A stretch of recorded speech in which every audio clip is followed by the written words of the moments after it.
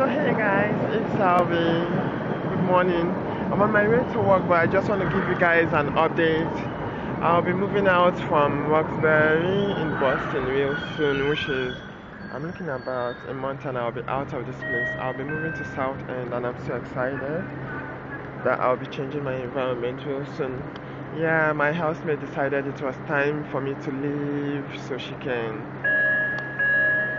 let's just say do what she does best, which is use people, and when she's tired of them and she starts benefiting from them, she kicks them out. So I guess it's my turn.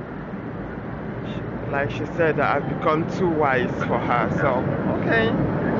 So I'll talk to you guys soon, and I'll let you know what's happening. And by the way, um, by next month I should be doing my green card.